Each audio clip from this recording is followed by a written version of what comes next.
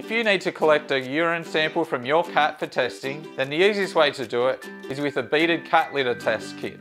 To collect the sample, simply follow these steps. Empty your regular litter tray and clean and dry it using plain water and paper towel. Tip the contents of the beaded litter kit into the tray and put the tray in its usual spot. Remember to remove the pipette and the collection tube first though. Once they have urinated, tilt the tray so that the urine gathers in the corner and use the pipette to collect the sample.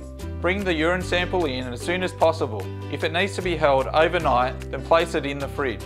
Make sure you get the urine sample to us within 12 hours, otherwise the results will not be accurate. To get your beaded litter collection kit, jump onto our website now. And if you have any further questions about collecting urine, then hit us up on Facebook Messenger.